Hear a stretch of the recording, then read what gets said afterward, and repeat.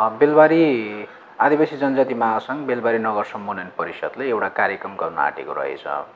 आदिवासी जनजाति मौलिक संस्कृति संस्कार संस्कृति प्रबोधन प्रदर्शन कार्यक्रम दुई हजार छयत्तर भन्ने। यो कार्यक्रम कस्तो रहन्छ? यो कार्यक्रमको विषयमा चाहिँ जानकारी दिनुहोस् न।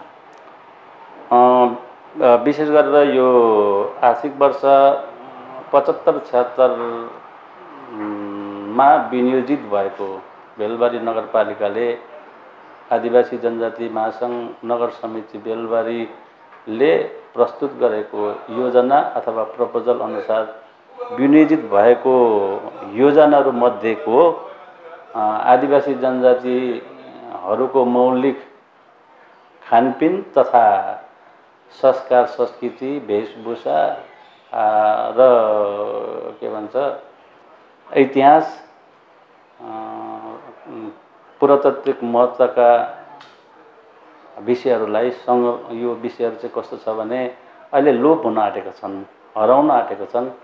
त्यसकारण आदिवासी जनजातिहरूको मौलिक खानपिनहरू र संस्कार संस्कृति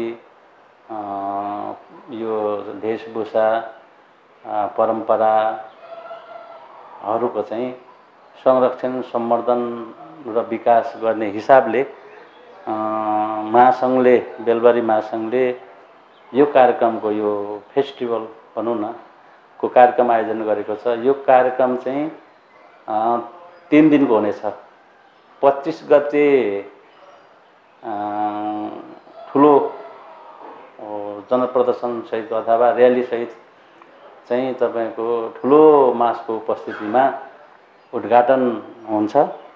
त्यो उद्घाटनको दिन चाहिँ हामीले हाम्रो आदिवासीहरूको संस्कार संस्कृतिहरूको प्रदर्शन गर्ने सबै एकल जातीय संस्थाहरूको चाहिँ प्रदर्शन गर्ने र त्यो दिन शुभकामना मन्तव्य आदि इत्यादि हुन्छ। र त्यो दिनको चाहिँ कार्यक्रमको प्रमुख अतिथि नगरपालिकाकै मेयर आदरणीय गेहेन्द्र सुवेदी रहनुहुनेछ र दोस्रो दिन चाहिँ यो बेलबारीमा रहेका आदिवासी जनजाति महासङ्घमा आबद्ध एकल जातीय संस्थाका संस्कार संस्कृति सहितको त्यहाँ चाहिँ पालै पालो हाम्रो आफ्नो संस्कृतिहरू प्रदर्शन हुनेछ मञ्चमा। त्यो सँगसँगै स्थानीय कलाकारहरू पनि को पनि त्यहाँ कार्यक्रम रहनेछ। साथसाथै हामीले अहिलेको अलिक चर्चित राष्ट्रिय कलाकारै भनौँ। फुलन्दी देवीको आमा उमेश राईलाई हामीले निम्त्याएका छौँ उहाँ पनि आउनुहुन्छ उहाँले चाहिँ आफ्नो विभिन्न चाहिँ कलाहरू त्यहाँ प्रस्तुत गर्नुहुनेछ दोस्रो दिन छब्बिस गते तेस्रो दिन हाम्रो समापन हुनेछ त्यो तेस्रो दिन र दोस्रो दिनको अन्य महत्त्वपूर्ण कार्यक्रम बाहेक बाहेकको समयमा चाहिँ बेलबारीमा रहेका सोह्रवटा जातिहरू यहाँ एफिलेट छन्। सोह्रवटा जातिहरूको चाहिँ त्यहाँ संस्कार संस्कृति पालै पालो प्रदर्शन हुनेछ र स्थानीय कलाकारको भरपुर त्यहाँ चाहिँ प्रदर्शन पनि हुनेछ। यो साथै यसको यो कार्यक्रमको मुख्य उद्देश्य भनेको चाहिँ यो आदिवासी जनजातिहरूको चाहिँ धेरै राम्रा यो मौलिक खानपिनहरू छन्। आदिवासीहरूको धेरै राम्रा संस्कार संस्कृति रीतिरिवाज वेशभूषाहरू छन्। यो लोप हुन आँटेका छन् हराउन आँटेका छन्।